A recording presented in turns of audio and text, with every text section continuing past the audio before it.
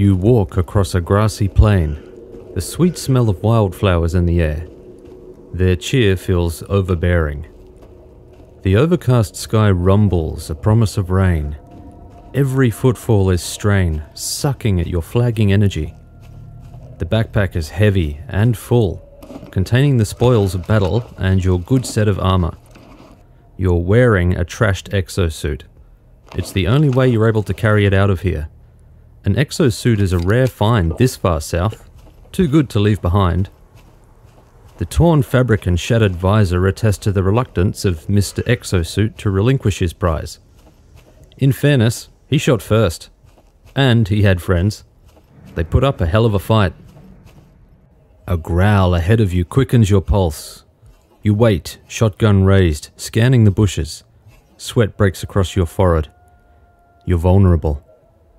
A face full of teeth bursts through the underbrush and is swiftly met with a double blast of a shotgun. You warily reload and continue trudging up the hill. Exhaustion is creeping up, and the pack ain't getting any lighter. You just want to be gone from this cursed place. Almost there. Yantar is just through the pass at the bottom of this slope. The scientists like you. They'll put you up until you figure out what you want to do about the exosuit. It's fixable, if you can get it to Rostock. The loose dirt scree almost sends you headfirst down the embankment. No time for rest, can't slow down. Almost there. The track to Yantar is within sight. From the folds of your breast pocket, the PDA crackles and a service disconnection warning tones. A cold shiver runs through your aching body, and the hairs on your neck rise. A distant siren wails as angry clouds gather overhead. A psi storm. You waste little time. Yantar is too far, the camp to the south is too far, You'd never make either, even unburdened. There's only one option. Reluctantly, you swap armor, drop the exosuit, and sprint. This'll be tight. A fresh surge of fear induced adrenaline loosens the cramps in your legs. You skirt the edge of the swamp, noxious fumes rising off its fetid surface, the bubble and hiss of chemical anomalies drowned by the rising rumble overhead. This is a dangerous area to be careless in, but if you don't make cover, then you're as good as dog food. The shack is perched upon rotted stilts above the toxic waters, and its splintered wooden boards spark a fresh fear. Will this shelter be enough? It has to be. You bound up the boarded incline and rush through the door. The shack is empty. You head to the corner on the opposite side, which has the fewest gaps, and hunker down. The wait isn't long. Pulses of blue white energy lance from the sky and impale the earth with mind destroying power. With little else to do, you take inventory of your pack while keeping one eye on the doorway. Nervousness gnaws at your gut. No one else will be out in the storm, but you left a valuable set of armor in the middle of a well worn track. Will it still be there when you return? After what feels like an eternity, the crash of the final pulse echoes across the zone, and the thunder subsides. The clouds unleash their pent up payload, soothing the land after the assault the world is left to lick its wounds. That was close. It was foolish to carry something so heavy without an escape plan. Such is life in the zone. Greed is default, and for many, the first mistake is their last. For the rest, it's a salient reminder that greed and survival are competing faces of the same coin. You'd think there was a lesson to heed here, but shinies be shinies. I have other stories. I'll tell you another one later. I need to keep reminding myself that Stalker Anomaly is a mod, because it should be impossible for a mod to feel more feature complete and satisfying to play than most. AAA titles. Stalker Anomaly is a mod. Stalker Anomaly is a mod. A bunch of talented and passionate Stalker fans collaborated to make what can only be described as the penultimate Stalker modification pack. Anomaly melds a huge curated selection of fan-made content into a standalone serving of Stalker goodness. You heard right, standalone. No other Stalker games required. If that doesn't sound impressive, I'll break it down for you. Anomaly contains every area from all three original Stalker games Shadow of Chernobyl, Clear Sky, and Call of Pripyat. 33 areas most of them huge in their own right and loaded with stuff to find, explore, and liberate from the mortal coil. Original assets, content, and game mechanisms have mostly survived, but almost every component of Stalker is overhauled. Textures and models are upgraded and crisp, a new X-ray engine purrs under the hood, allowing new effects including volumetric lighting and fog, and gameplay has been refined and many of the rough edges smoothed out. There are so many changes that it should feel like a different game. I, I mean, it's standalone content, if that wasn't a clue. It's reductive to call it a mod at this point because there isn't much that's left untouched. This ain't just a dusting of the engine or upscaled textures. I'm not joking when I say that nothing was left untouched. Nothing. And yet, if you've played the original Stalker games, but it's been a while between drinks, you'll swear that this was how original Stalker played after a few short hours with Anomaly. The changes feel right. I like to imagine that Stalker's original developers look at Anomaly and see a realization of their original vision, with 14 years of industry growth and the absence of crunch that necessitated the premature release of the original game. If time is the greatest asset we have, Anomaly made the most of it. Anomaly didn't take 14 years to create, but it is built on a foundation of new ideas and endless refinement. If this is your first exposure to the Stalker franchise and you're wondering what the fuss is about, well, haven't you come to the right place? Not only can I say that Anomaly is the best place to start your Stalker journey, it's also, in my opinion, the best Stalker experience, period. No, I haven't played other Stalker mods. Yes, I know that other mods exist. Yes, I'd like to try them one day. But when Vision meets reality, buys it a drink, and fireworks happen, and Vision takes reality home, and spanking is involved, and they make an amazing little baby anomaly, uh. well, it's hard to dispute the result. That's. that's what I meant. Not an actual baby anomaly. Or an anomaly baby. Actually, an anomaly baby would be terrifying. Birthed from the crushed remains of careless stalkers and mutants. Someone should get on that. For those new to the franchise, I have only one thing to say. Get out of here, stalker. Sorry, inside joke. That was very cheeki breeki of me. I'm on fire today. Look, I'll make one thing clear before we go further. The original games are absolutely worth your time. Anomaly is a lot to take in, even for zone veterans, and the original games offer a palatable difficulty curve and, with Shadow of Chernobyl, a somewhat interesting plot, even if it does blow its load early. If you've got the time and inclination, start there. But if rent ate most of the gaming budget this month and the thought of diving into systems with little explanation seems daunting, well, I got you covered there too. If, after watching this video, you decide that Stalker Anomaly is your jam, check out the Ultimate Beginners tutorial on my Let's Play channel, link is in the description. And for examples of these systems in action, watch my Loner to Legend series, where I extensively use the crafting system and cover every mechanic in the game, Blondie style. Enough pew pew of the car car. Roll the banner.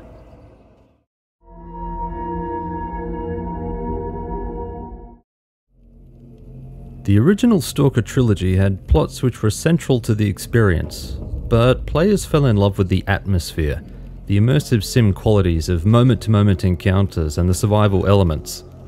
I'm deliberately using a brush so thick that I'm practically finger painting. I often hear the objectives atmospheric and survival tossed about like a hen's party dildo when people describe Stalker. While these qualities are true, they aren't precise or descriptive and they don't clearly define the Stalker experience. Understanding Stalker's specific appeal is key to understanding and enjoying Anomaly. Anomaly expands the Stalker experience by orders of magnitude and boasts a highly customizable and immersive way of exploring the zone that anyone can get behind. Shadow of Chernobyl, the first in the Stalker series, was set in the non-fiction region of the Chernobyl exclusion zone. Shadow of Chernobyl wrote in a fictional second explosion emanating from the Chernobyl nuclear power plant, which released a horde of horrors and wonders into the zone. Anomalies, artifacts, and mutants populated the zone in a way that played on fears about the effects of radiation, both old and new, on living creatures. Horrific, deformed creatures were sometimes unrecognizable from their original form, and they were dangerous, even the former domestic pets and farm animals. Stalker introduced 2K gen gamers to anomalies. Anomalies defied physics and nature, appearing as spatial distortions, sourceless electrical charges, bubbling toxic pools, and other strange effects which defied regular explanation and proved harmful to living creatures. The zone should have been a place to avoid, if not for the mysterious artifacts that explorers returned with. The artifacts were oddly shaped, sometimes luminescent, and often affected the body of the wearer in strange ways, providing protection or boosts to basic human function. These finds drew scientific interest worldwide, and those with the adventuring spirit braved the zone to plummet's hazardous depths. These adventurers were collectively known as stalkers, people who pioneered the zone to recover rare prizes unseen anywhere else in nature. The term stalker is an acronym which stands for scavengers, trespassers, adventurers, loners, killers, explorers, and robbers. It's schlocky as hell, but there are clear in game references to the 1979 movie of the same name, and I'm assuming that developers GSC Game World weren't fond of lawsuits. Shadow of Chernobyl saw players progress from the southern end of the zone to the north, with the Chernobyl power plant being the ultimate destination. Along the way, players brave mutants, bandits, and anomalies while on the hunt for someone called Strelok. The bleak post apocalyptic tone of the world, the rusted reminders of Soviet influence, all heightened by an excellent moody soundtrack, hooked players, immersed them wholly in a decaying place unseen by most. This wasn't just a fantasy apocalypse, Chernobyl was the real deal, with credible gravitas. GSC even made the pilgrimage to record locations for the game, and what they returned with is so hauntingly accurate and believable that it felt like you were there, touring a 3D replica of the real thing. Liberties were taken, of course, but the aesthetic choices and art direction largely reflected reality. The world felt less gamified, and as a result, more real. It was easy to suspend disbelief when good visual and level design did the heavy lifting darkness, claustrophobia, and a heightened sense of fatalism dogged the player, all punctuated by the black humour of stalkers who spent far too long in the zone. Underground environments were harrowing, with stretches of still blackness for dangerous mutants to lurk in. The player could bleed, they had to eat periodically, and enemies were punishingly difficult. This made mutant encounters terrifying, particularly when they caught you with your pants down. A sudden snarl and flash of fangs were the only warning you were likely to get as hungry eyeshine filled your dying vision. Darkness and player squishiness brought other problems. Mutants became more dangerous at night, their attacks easily masked by the dark. Anomalies, hard to spot during the day, were virtually impossible to see at night, which meant that being crushed into a human Rubik's Cube was a real possibility. Stalker isn't an RPG, not in the traditional sense, but it does feature progression and increased player power through the acquisition of better armor, guns, and artifacts. Progression to better equipment is tempered by logical limitations, such as ammo scarcity and differences in armor protection. Players gain another, more important layer of power through encounters with mutants, anomalies, other stalkers, and the world. Tarkov shares a similar knowledge is power learning curve. This differs from standard shooters where different guns are simply varieties of boom, or RPG shooters where player, weapon, and enemy levels define fighting effectiveness. As player clarity improves, so does their competency in dealing with or avoiding threats, and survivability improves as a result. It's this feeling of earned competency and mastery that I believe underpins the goodwill among fans that Stalker is now legendary for. I first experienced competency awarded progression in the original Gothic game. Earning your first set of armor in Gothic is a big deal, and its acquisition opens a lot of doors. Instead of throwing health into enemies to scale them with the player, Stalker introduces more dangerous mutants and more perilous environments. More dangerous stalkers exist too, and GSC scaled their difficulty by throwing them into squads and gearing them up with top tier armor and weapons. Taking them down was tough, but earned. There is a dark, rain soaked beauty to the zone, a quality to the experience that touches the soul and is as hard to put into words as the kaleidoscope of human emotion allows. It inspires moments of admiration and reflection when sunset kisses another day goodbye and the hungry mutants begin to stir. It begs a moment of caution as strange snarls echo through the peeling hallway of an abandoned military complex. It invokes horrified revulsion at the creature loping toward you, once human and now a cunning predator. It reveals a sense of time and place, transporting you back to Soviet slogans, propaganda, proud statues, and familiar coloured stripes peeling from plaster and concrete. The zone is a snapshot in time, whilst being shackled to its reclamative ravages. Rusted vehicles with flat tyres, crumbling homes with wood fired ovens and spring beds, rusted industrial structures dumped in the middle of nowhere and looking all the world like they once belonged to a highly irradiated power plant. Video games typically balance gaming experience and gameplay mechanics. If it's pure, unfiltered gameplay that you're after, Stalker will disappoint. The original trilogy isn't a refined experience, and the combat isn't intrinsically good enough to stand on its own. Gameplay is inextricable from the experience, and the experience is the foundation of the franchise. I found a short journal entry on a recovered PDA in Anomaly. A stalker recounts how he was sucked toward a vortex anomaly and barely escaped. Since then, nightmares plague his sleep, shudder images of the zone and its clandestine secrets. A similar ailment afflicts other stalkers who are hurt by anomalies he hears.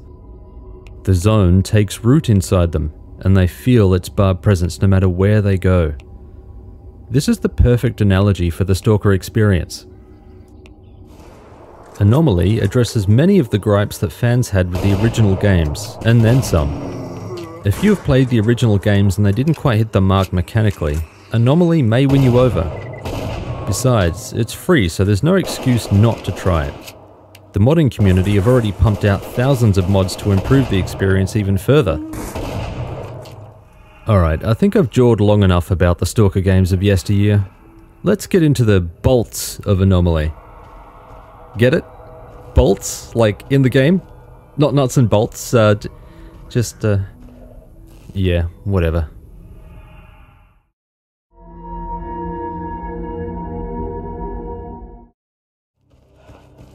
Now that we have a foundation for what Stalker is, how does Anomaly change things?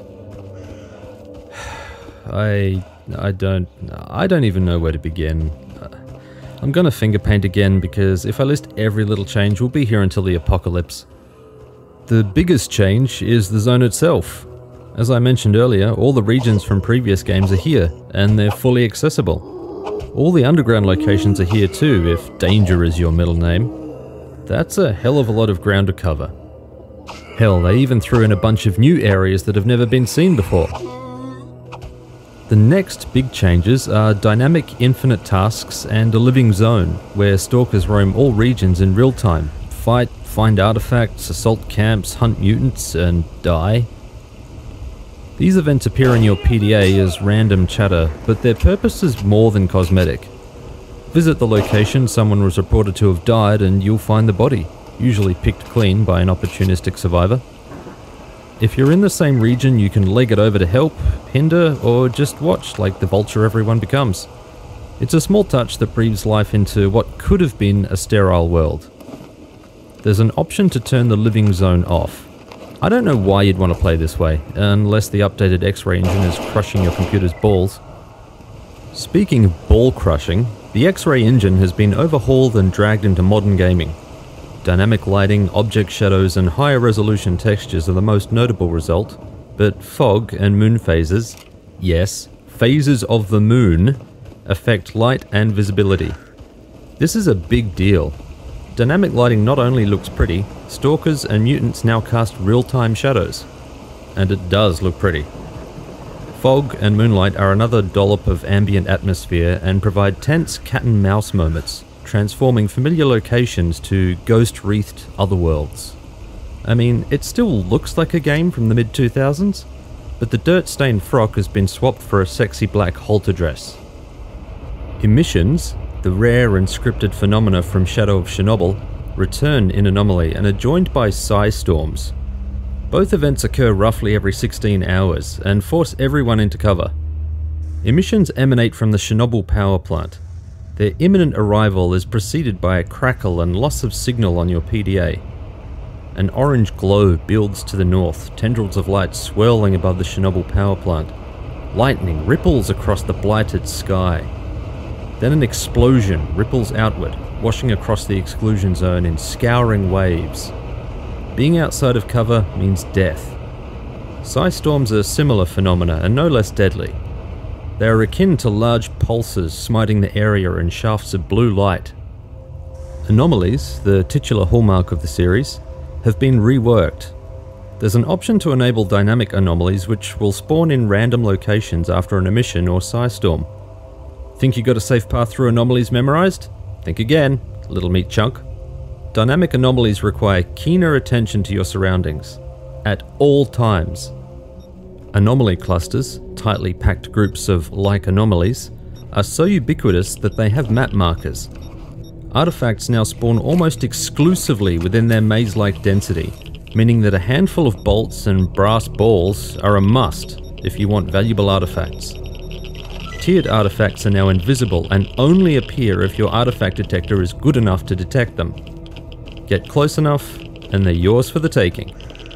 Then you've just gotta make it back out in one human shaped piece.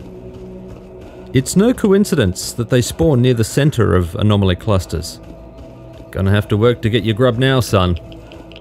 And while we're talking about artifacts, they've been completely rebalanced. Trash tier artifacts join the cast. They fetch a decent price but have no benefits or side effects. Tiered artifacts now irradiate their carrier. Lead lined containers and artifact containers are needed to safely transport and use artifacts. And can I just say that I love this system? Tiered artifacts have also been completely respec from previous Stalker games. Anomaly introduces a crafting system. Many items, including weapons and armor, can be scrapped for components which are used to craft new items or repair existing ones. Junk is everywhere, but don't be so hasty in tossing it away. It could prove useful at a crafting vice. Crafting is a great system that grafts seamlessly with Stalker's gameplay and feels as though it always belonged. I'd love to see it expanded and refined for survivalist playthroughs, and I don't reckon it would take as much effort as some might think. Cooking joins the new cast of features, going hand in hand with an expanded mutant parts system.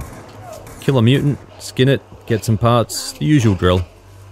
Cook the meat you find and try not to sizzle your tonsils with radiation. Or, maybe your culinary creation has more benefits with none of the half life. Ever wanted your own posse? Sure you have. Live the dream and recruit extra layers of flesh Kevlar to take up arms. Anomaly's companion system enables the recruiting of other stalkers to form a party. They never argue, but they sometimes ignore. A good option for people with a firm hand who don't mind flexing every now and again. Companions even carry your stuff and loot for you. Good lads. Just don't forget to get your stuff off them. Medications, food, and drinks, it's all expanded. Dehydration and exhaustion are new systems which vie for your attention, and there are a range of solutions to keep them under control. A new main questline takes you across the zone in search of Strelok and his team. There are three acts to the questline, and completing all acts unlocks three new factions to play as. Have you kept track? That's a lot to absorb, and all of these systems have complexities. I'm finger painting, remember? Everything starts to make sense as you play, and for all of Anomaly's complexity, there's nothing that feels out of place. And you can customize how complex you want the experience to be. Don't like hunger, sleep, or dehydration? Turn them off. Don't like crafting or cooking? Ignore them. Buy what you like. Let's talk about Anomaly settings. You like customization? You like sliding the sliders and toggling the options like baby's first play center? Well, there's a metric ton of settings in Anomaly. I've never seen so many settings in a game. I don't want to hear any wow wows about the game being too hard or too easy or crafting or cooking being too onerous. Sure, they're not perfect, but if you don't like them, don't use them. Wait for a mod which does the stuff you like in the way you like. Anomaly shames most games in its honest attempt to bend over backwards and give you the perfect Stalker experience. And new mods are released every week, updating or changing the experience in some way. Hell, there's even Warfare and Zombie mode selectable when you start a new game. So, all these options, that's great, but what does it actually mean? I'm so glad you asked. Let's take a look, shall we?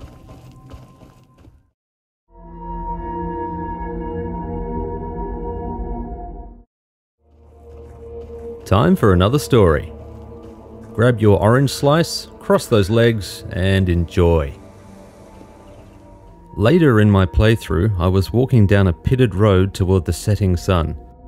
The sky was already a deep purple, and the last warming rays retreated from the world. I was weary from exploration, the heavy pack cutting into my shoulders a testament to success. Time to head back to base to hydrate, eat, and catch some Z's. The shushing wind, vocal until now, suddenly held its breath and a sense of foreboding settled on me. A chilling roar was the only warning before claws gouged armor. The creature flashed by and I caught sight of the bloodied tentacles around its maw. A bloodsucker, hideous looking creatures and dangerous in the dark. Then another roar and another gouge. A second creature. The realization froze my blood to ice. I staggered and fired blindly, but the creatures were too quick and melted into the darkness. I was bleeding bad from multiple wounds and I dared not lower my weapon. I heard them round for another attack, intent on finishing me, their slobbering wet gasps sucking away my calm. I don't know how many panic shots I fired, but one of the creatures suddenly appeared in front of me as it tumbled to the ground, dead. One left. I clumsily dodged an attack, fighting the pain, and lined the remaining bloodsucker in my sights, finger poised on the trigger. I never saw it coming. A sharp, searing pain raked down my back as claws shredded armor. Three bloodsuckers, I realized, not two. They were hunting as a pack, and they were clinically tearing me to pieces. To think that only 15 seconds ago I had felt like a walking tank in my Nosgoroth exosuit. I was bleeding out, and they knew it. I could hear them salivate at the prospect of fresh blood. I had found a tourniquet at some point and had been saving it for a dire occasion. This seemed to qualify. Stumbling to keep a tree between myself and the creatures, I tightened the tourniquet and tended my wounds, wearing a couple more glancing slashes in the process. It was deep twilight, and all I could see of the creatures were two pairs of glowing eyes charging toward me. The creatures would appear a split second before the attack, then turn invisible and fade into the darkness before I could aim. If we stuck to this dance, I'd run out of healing. I baited one to attack, sacrificing a hit to land a killing shot between the eyes. The creature slumped at my feet. It was a bad move. The final creature used the distraction to circle around and was upon me, enlivened by the fresh smell of blood. It seized me in powerful hands and sank its teeth into my neck, draining my already flagging strength. Sensing that this could be the end, I gathered my remaining fear induced might and threw it off. It roared at me and bounced back into the darkness. I quickly bandaged the fresh wound, grimacing as the disinfectant went to work. I was weak, and it knew, but I only needed one shot. The bloodsucker circled around, then charged. But I was waiting for it, the mortal peril heightening my hearing and sight. I dodged around a tree, spun, and fired at the fading humanoid shadow. The creature howled and sprawled face first. I limped over, warily glancing around as I harvested my trophies. Then, I limped back to base to rest and share my harrowing tale over a vodka. This is just another of the many flash fiction tales I experienced while playing Anomaly.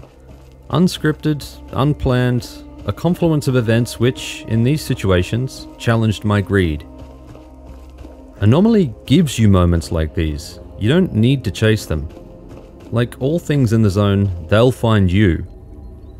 But there are also quiet moments of reflection, equally engaging in their terse stillness. Anomaly is part choose your own adventure, part ghost story, part action adventure thrill ride. When stalkers gather around the fire and shoot the shit, you know that they're talking about stuff like this even if you don't speak Russian. Survival sits at the core of everything. Anomaly doesn't demand you pay attention to the survival aspect. It's so casual about this aspect that you might be lulled into a false sense of shooter bravado when taking your first steps into the zone. Anomaly never slaps you over the head and says, You're doing it wrong! It lets you prod and play and engage, and the world provides feedback on your decisions. Every encounter is a test. Do you know enough to continue with your current actions? Should you turn back? Do you even know enough to assess the risk?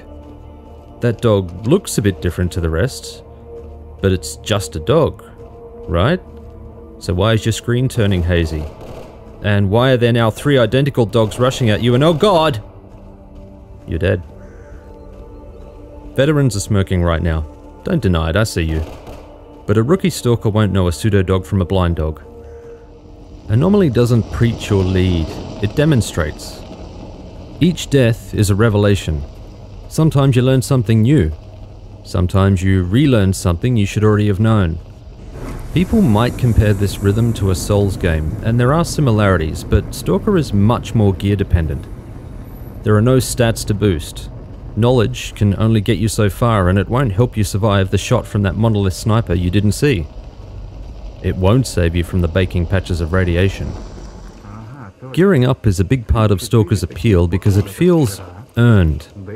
You need to complete a lot of tasks and get your hands dirty to earn that first decent suit of armor. Ditto for weapons, and even more so if you're playing on the highest progression difficulty, which jacks up the price of all goods and basically turns trading in the zone into a black market. Not that it wasn't already, but the prices will reflect that, I promise you.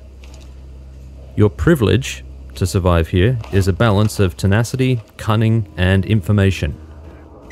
Emissions and storms are the tick-tock heartbeat of the zone. Maximize loot or freedom of movement. That is the dichotomy.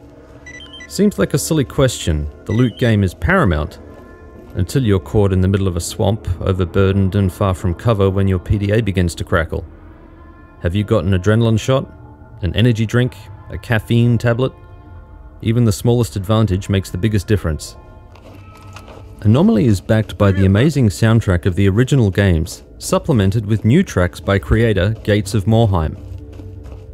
Gates of Morhaime has become a composer to watch with these new tracks. They blend with the old, capturing tone and timbre perfectly.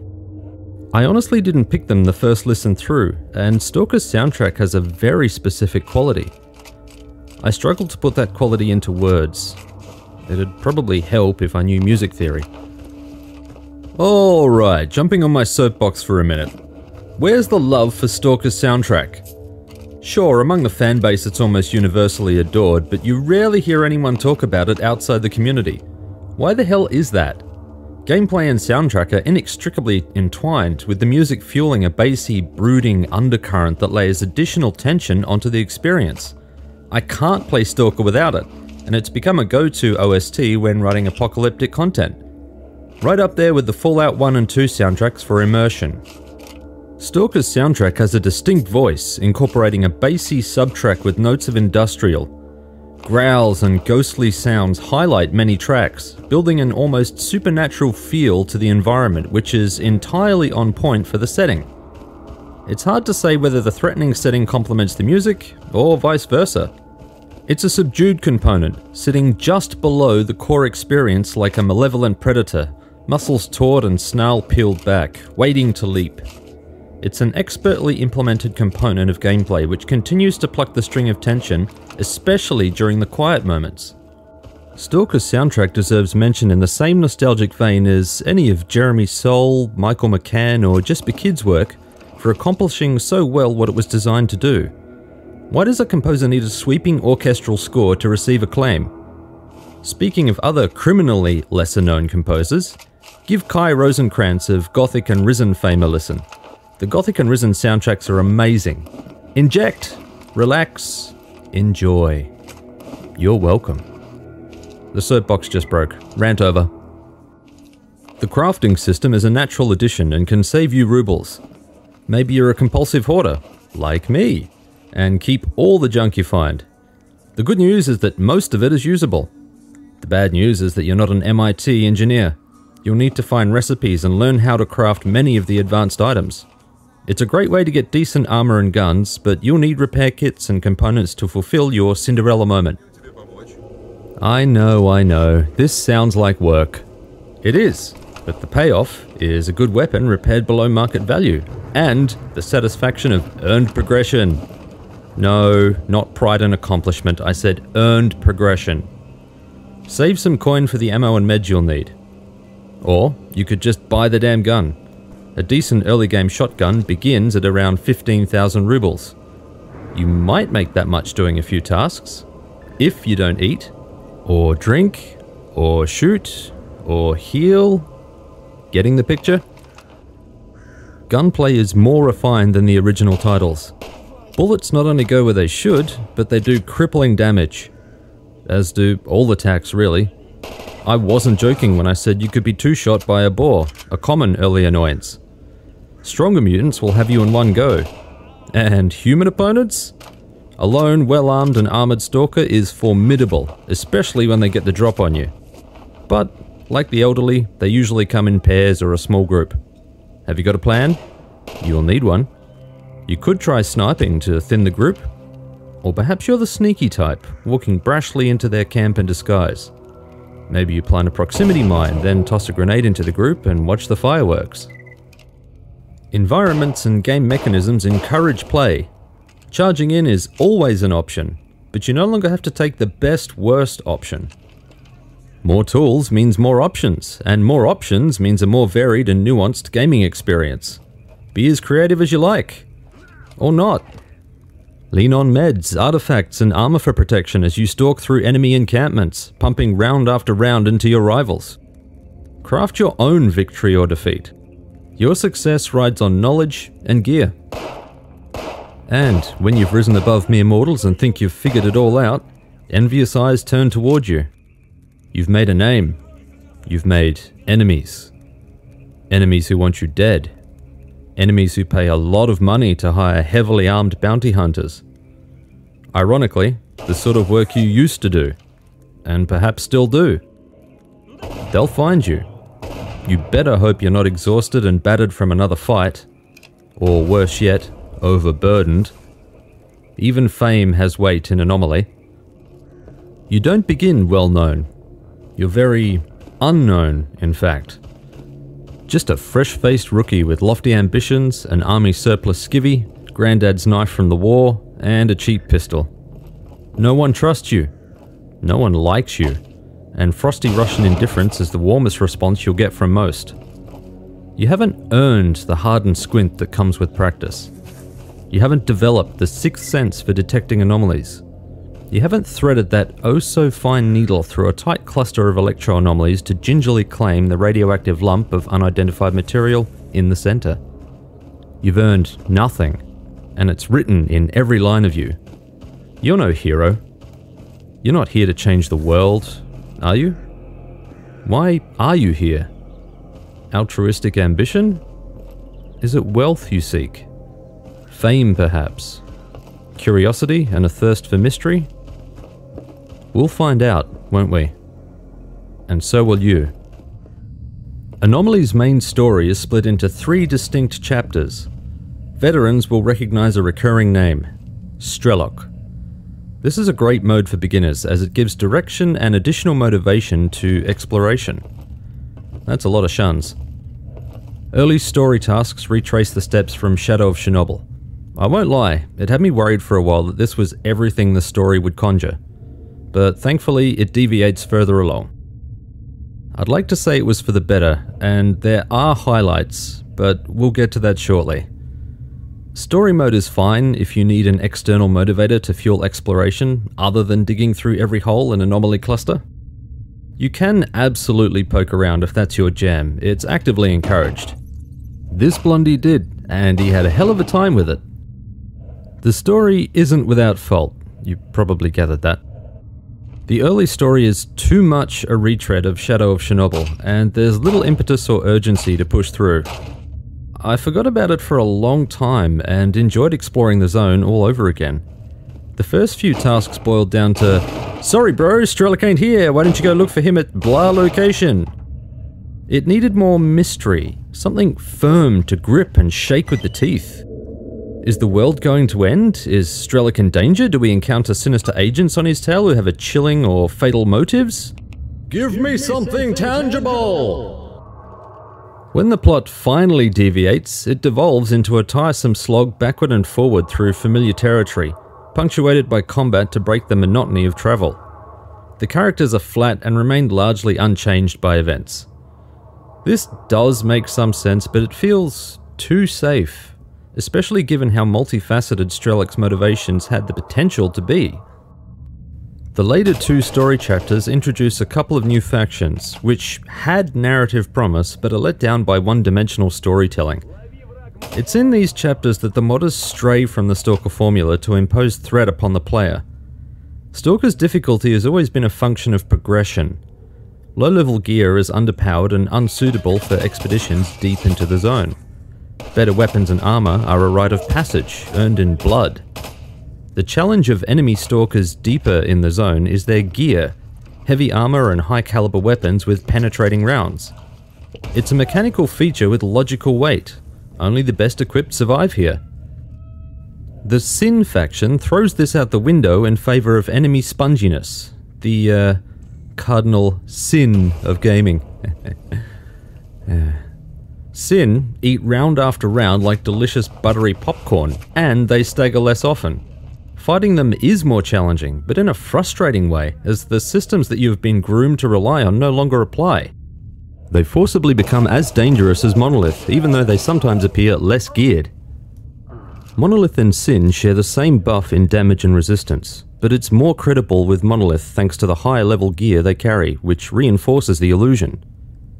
Sin, on the other hand, often wear lighter armor than Monolith, a trench coat in some cases, which breaks the illusion like a fart in a flower store. I want to call Sin what I think it is, a lazy addition, but I keep coming back to the fact that the modders were working with an engine that they didn't code. Anomaly is a passion project. Criticizing work that people aren't making a dollar off just makes me feel like a prick. Instead, I'll say that Sin missed opportunity at adding a potentially interesting faction to the Stalker universe. There was genuine intent here, and it's a shame the idea wasn't pushed further. Sin reveal themselves as a sleeper group, watching from the shadows, rarely interfering, building their forces until the time is right. It would have been more unsettling to see this trend adopted throughout the main story and beyond. Sin sleeper agents could be planted in each of the other factions, waiting for an opportune time to reveal themselves and attack. This could have been a dynamic system. That loner you recruited looks trustworthy, but perhaps he's amiable because he doesn't want to raise suspicion.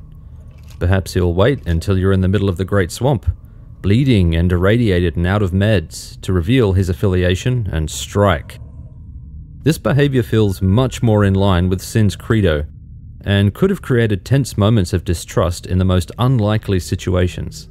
Suddenly, travelling alone doesn't sound so unappealing.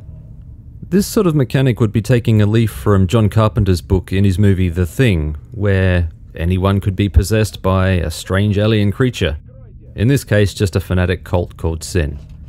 But the effect that it would have on gameplay and the psyche of the player would be a perfect fit for the zone. If Sin are lazy, then Unisig and Renegades are flat out unnecessary. I don't know why they exist. We have ecologists, the military, and bandits. We didn't need to mash them together to create factions. Perhaps there is more to playing them. Maybe I'll do a run with them at some point. Narratively, they're just a new badge to shoot at. You'll unlock Sin, Renegades, and Unisig as playable factions as you complete chapters of the main story. Don't delete that save file. And while we're talking about factions, there are already plenty of them to populate the zone, and all can be chosen as your starting faction. Each faction presents its own challenges, and you can complicate the hell out of this by randomizing your starting location. Don't like your faction, or have a change of heart mid-game? No problem! Track down a faction leader and dial up the charm. Eventually, they might like you enough to recruit you under their badge. Masochists are also catered for. Iron Man mode is the anomaly gut check. You die, your save is wiped. Maybe give yourself a couple of lives for the odd mistake. Perhaps grant yourself an additional life every day or two. Or perhaps you want to activate Azazel mode and jump into the boots of a random stalker when you die. Anomaly also heard you like achievements. 20 of them are built into the game, and precisely none of them are cosmetic. All grant something nice when unlocked, and they're with you for the rest of the playthrough. Some even follow you into new games like Love Hungry Puppies. You can chase them down for the bonuses or ignore them entirely, your choice. But they add a nice incentive to poke around and get active. If you're not tired of zombies already, Anomaly has you covered here too. Turn on survival mode to change all spawns to zombies. Well, not all spawns, as I found out, but you'll see a lot of zombies. It begs a different style of play. How long can you survive? Zombie mode is interesting, if not exactly novel, but it detracts from the core experience. The variety of mutants and stalkers are what make for an interesting and dynamic experience. Survival mode drastically reduces the numbers of both and inserts the most sluggish enemy. Zombies are easily avoided and they water down the danger to a brackish slurry. I never felt overly pressured or in peril around them, and this changes the rhythm of gameplay for the worse. The loot game also suffers as zombies often carry wads of cash, guns, ammo, food and meds. Perhaps I need to spend more time with this mode to fully appreciate what it offers, but I doubt I'll find more than what I initially saw. There is a story to be told in survival mode. Some traders, technicians, and other prominent people vanish or can be killed, meaning that you may have to lean on heavier use of crafting. I may explore this mode on my Let's Play channel, Blondfire, in the future. It has potential, and I'm hoping that a visionary modder will refine this mode and balance the gameplay aspects to instill a greater sense of apocalypse and survival. There's also warfare mode, if pure combat is more your shtick. It pits faction against faction in a hostile tug of war. Capturing checkpoints and helping your faction hold ground is the name of the game. This mode can be enabled alongside story mode, and it can drastically alter your progress through the zone. Early game combat is predictably brutal, but the spoils of war will fuel your progress in a way that the vanilla campaign can't. It's a faster, more exciting burn, and you can focus as much attention on it as you like. Downside? Of course there's a downside. Ignoring the plight of your faction means that the faction base you left 20 minutes ago may not be manned by friendly faces when you return, and this can significantly disrupt progress. There's a push-pull to this mode, and enabling it means keeping a constant eye on how your faction is holding up. Thrill seekers will enjoy the constant threat of violence, explorers will find it an unending distraction. You can mix and match a lot of these modes. The level of customization is truly staggering. Upend a bottle of vodka, staggering. I can't get over the fact that they let you adjust the moon phases. That's that's just nuts. We've discussed plot, but environmental storytelling and emergent gameplay are the real stars of the show. Every region shows signs of struggle, both recent and past, of the mad scramble to leave the zone and the frenzied push to return, and the daily struggles to continue. And with every step and decision, you craft a story. You've heard some of mine. Perhaps you'll travel those same areas and your journey is quiet, uneventful. Then again, perhaps not. By the time you return to a campfire, surrounded by Russian camaraderie and laughter, you'll feel as though you've earned your place in that warmth. Eventually, you'll be balls deep in trouble, and the ghost stories and nail biting tales of your fireside friends will become that much more relatable. The zone takes a part of you, but it gives much more in return. When Anomaly fires on all cylinders, it immerses you in its world effortlessly. As with many of the games I enjoy, Anomaly's journey is the irresistible allure. The technical systems are cohesively welded to the clanky body of Stalker, but the world lines are so masterfully applied that you won't know where the original game ends and the new content begins. It's easy to craft your own directive for play or impose restrictions to crank up the challenge. It's the sort of experience where you decide if it's really worth bringing four lead containers when they weigh 2 kilograms each. It's the sort of game where you weigh the purchase of a new assault rifle and a single clip of ammo against fixing your pistol and buying a few clips and some healing meds with the change. It's the sort of game where you risk being hopelessly overburdened and hopped up on caffeine for the chance of a sweet, sweet loot payoff. It's the sort of game that invokes morbid wonder and a sense of loss at departed civilization and the dog eat dog microcosm that has sprung up in its place. It's the sort of game that presents a dark, cement lined hole in the earth, draped in burnt fuzz, and says with a Cheshire grin, Wanna come inside? You can relax every aspect of difficulty, and if you enjoy your experience that way and don't want to fuss with carry weight, then you can, and power to you. But Stalker is at its best when it challenges you, pushes you to the boundary of your perceived limits, then squeezes a little harder. You'll surprise yourself. You'll surprise others. Survival in the zone is tough, and earning your place is a badge of honor. Craft your own story. Forge your own destiny.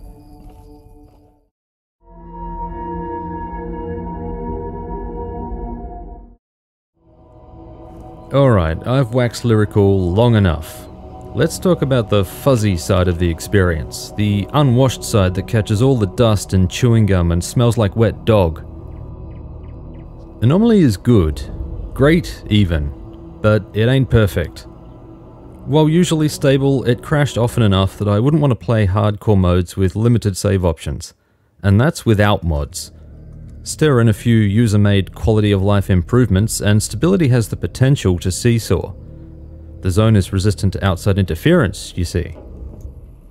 Companion AI is particularly sketchy.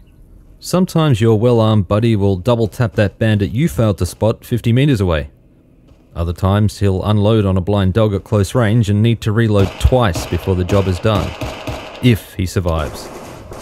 I've seen companions dumbly dance around while being eaten a bite at a time by wildcats, flatly refusing to defend themselves despite being told to attack.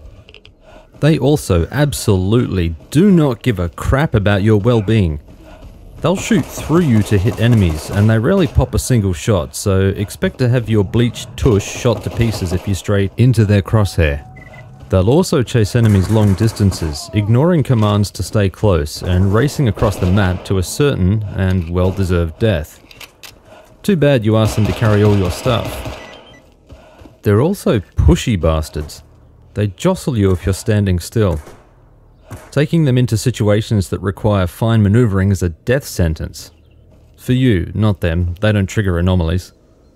I've been nudged into anomalies, shoved from behind cover, even shoved into incoming attacks. It's like they know.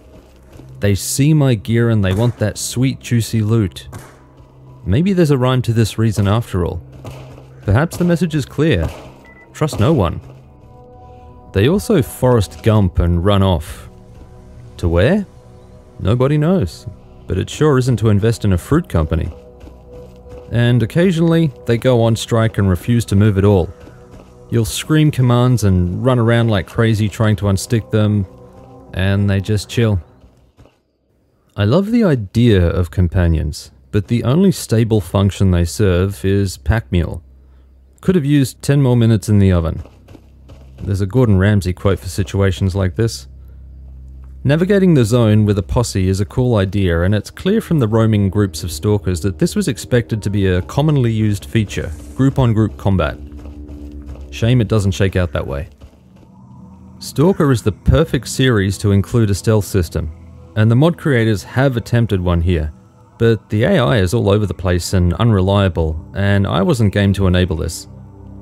There's even a disclaimer that the stealth option is purely experimental this isn't a criticism leveled at the devs.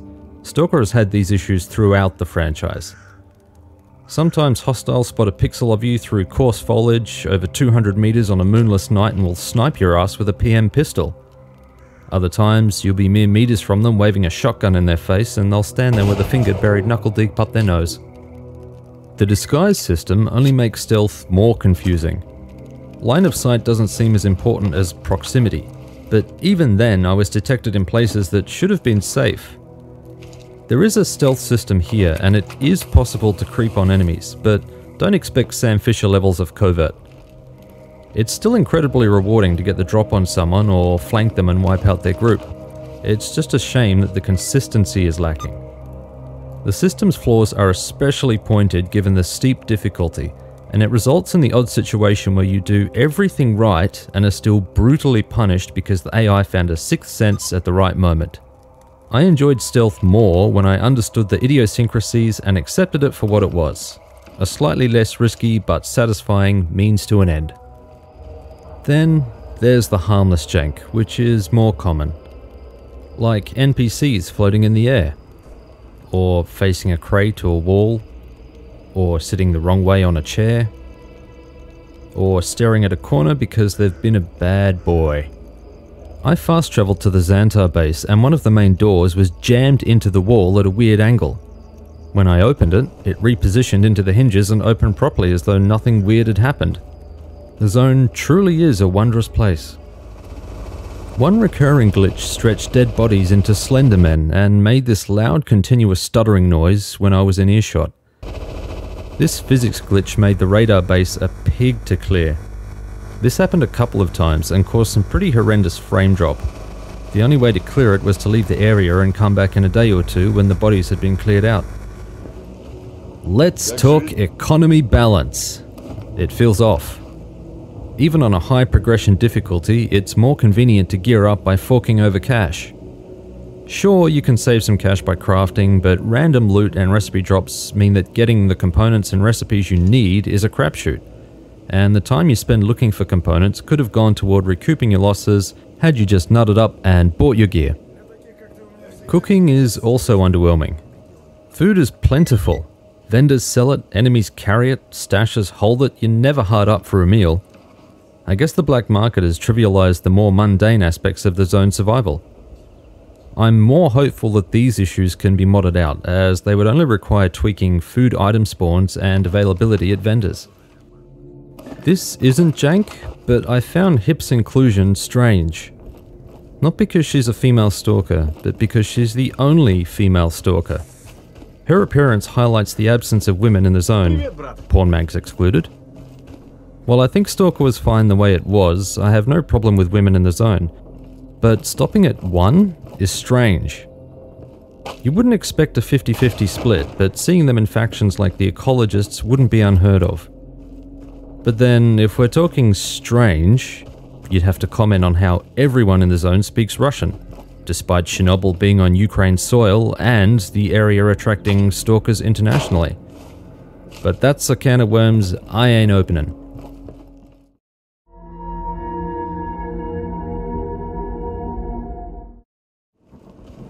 There's no getting around what Stalker Anomaly is an amalgamation of ideas which have been jammed into the Stalker universe. That's descriptively crude, but Anomaly wears the influences unabashedly on its sleeve. The mechanisms which Anomaly has adopted aren't tossed into the mixing bowl for shits and giggles. They're logical. They're a seamless fit for the world and the existing gameplay loops. I mentioned before that if you're a returning stalker but that it's been a while between drinks, you'd swear that this is how they've always played. That's not hyperbole. That's genuinely how it feels. The repair and condition system has been greatly expanded from the original titles. Anyone familiar with Escape from Tarkov will recognize gun components, which can be used in Anomaly to fix crappy guns and armor. Anomaly doesn't have the breadth of components and weapon customization that Tarkov does, but it could. People are already Tarkoving the Stalker experience with new mods. It's only a matter of time. The crafting system takes an item-starved approach a la the Metro franchise, allowing you to scavenge old gear for components which can then be crafted into something useful. There's already an economy of sorts in the zone, but crafting is the attractive way to save cash and build a side hustle crafting stuff to sell. I'd love to see an evolution of this system which could emulate true scarcity to make crafting even more attractive and prominent, which would shove the survival aspect to the fore. I wait and hope and dream. In another nod to the Metro franchise, Anomaly includes an old ammo variant for all ammo. Old ammo can still be fired, which degrades the weapon condition faster, or it can be crafted into new ammo at a 2 to 1 cost. much like the crafting system, there's little impetus to make full use of this system as money is easier to come by after the first few hours, and you're never really that hard up for ammo. Settings can tweak the economy, and there may be a good balance where old ammo plays a more meaningful role, but on the preset difficulty, ammo is never an issue. The bump in enemy and mutant damage, and the increased reliability of gun accuracy, results in intense tactical fights. Even a one on one with a mutant can become a life or death struggle, and it frequently does early on. For all of its faults, the Stalker AI frequently gets a lot of things right, and when the combat algorithm is firing on all cylinders, it's a visceral delight. Stalkers flush you out of cover with grenades, they flank you, they inflict crippling damage with high powered weapons, and they push your position when you're outnumbered. They're generally good shots, especially the military or mercenaries, which often leads to pressure situations where you're pinned behind cover and making moment to moment life and death decisions. These moments highlight just how good the emergent gameplay can be, and they're every bit as thrilling as they sound. The tactical and high stakes gunplay, coupled with blood loss, in the field healing, radiation, and a host of other concerns, highlight the similarities in emergent survival gameplay between Stalker and Escape from Tarkov. Tarkov is a mere wish granter and nuclear power plant away from a Stalker experience. Anomaly bridges that gap by applying a wrench to Stalker's existing systems and tightening the loose bits. It's not refined, but it's a huge step up from the original experience. Did I mention mutants? Stalker can't be Stalker without mutants. There has always been a tenuous balance making mutants a credible threat, particularly late game when the player is fully geared. The devs addressed this challenge by boosting mutant spawns and damage, and adding a bunch of new threats. If guns are the clinical finger of God, then mutants are the goddamn sledgehammer. Like Metro Exodus, there is a strategy in choosing your fights, which deplete resources or potentially end you. One-shot deaths are not uncommon, and seasoned players will skirt around hotspots, knowing full well what awaits the impulsively foolish. In another small tip of the hat to Metro, face masks ripple with water when it's raining, and they need to be wiped to see clearly. Even a small inclusion like this deepens the moment-to-moment gunplay and broadens meaningful choices. Could Anomaly exist without these influences? I don't think so. Although Anomaly feels like an organic progression of the Stalker formula, it's still a bunch of hand-picked systems from other games, bespoke for the Stalker framework. That isn't meant to cheapen the achievement here, on the contrary. What these guys have pulled off is damn impressive and on a scale I would never have imagined possible. Anomaly deserves to exist standalone, a testament to the vision and passion of its most devout fans, backed by generations of gaming experience. It seems appropriately iterative that Stalker served as the inspiration for a new wave of gritty Slavic shooters, and is now reaping the benefits of this shared growth. And it appears that GSC Gameworld, Stalker's developers, have kept their finger on the thunderous community pulse. Stalker 2's Ultimate Edition promo clearly shows an artifact container collectible, an item implemented outside the original games. This bodes well, and I'm now much more optimistic about the product that Stalker 2 could be, compared to the original Battle Royale style Snorefest that they revealed a few years ago. Thank the builder for community feedback.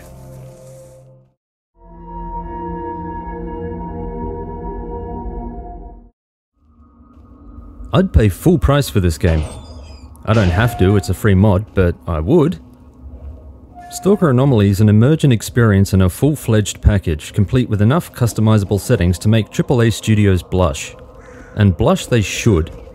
I'm a fan of games that allow me to play by my own rules and carve my own experience, and Anomaly breaks its back to deliver exactly that. The sheer amount of customization means that with the simple tweak of settings you'll have a completely different experience. And that's not including randomized item spawns, stashes, NPCs, and mutants in every region of the zone. I restarted many times, trying different approaches, testing each location, and no two experiences were the same, even if the settings never changed. How many games can truly boast that? Anomaly's punishing combat sits nicely with me too. Like many knowledge driven skill systems, the difficulty is steep in the beginning but is more appreciated once you grasp this strange new world. Progression is earned as a direct result of active player engagement. Stalkers and mutants have a stepped difficulty as you push further north, and while you might catch your toe on the steps a time or two, the experience is rarely unfair. Enemies aren't hard to figure out. Watch their patterns, look at their gear, and learn their tactics. There are no level systems to worry about. No need to wonder if you're in an area which is artificially beyond your abilities. The tactile feedback of encounters informs whether you and your gear are up to snuff, and this allows even under-geared players to succeed where gear alone isn't normally enough. And gear alone is never enough, existing on a gradient which never levels, not even for fully kitted stalkers. Gear enables you to survive long enough to make the right decisions, and those unwilling to learn are destined to fall, time after time, the story mode falls flat, but there's plenty enough mystery to chase down in each region. The story could have been built around natural curiosity by using points of interest as settings or plot devices to build mystery and lore. Are you telling me you couldn't build something cool off a location like the kindergarten in Outskirts region? Come on, guys. But instead, we're treated to an antagonist who is absent for most of the story, and their presence is never felt in the zone. Sin and Unisig had promised us standalone factions and plot devices for the main story, but neither reached for their potential, and they could have been substituted in the story for existing hostile factions. Anomaly's myriad systems are a familiar hardwood chair for Metro, Tarkov, and Fallout fans. Unforgiving, but robust. Anomaly, though, offers a unique setting and experience that no game has faithfully replicated since the original Stalker trilogy. Even with a lackluster story, Anomaly is the most fully realized version of Stalker that I've played, and the slew of mods constantly released will continue to evolve this product. Yep, product, I said it. This mod is more feature complete than many AAA releases, and less buggy. As a storytelling medium, Anomaly appeals to the explorers, the adventurers, those who appreciate the journey more than the destination.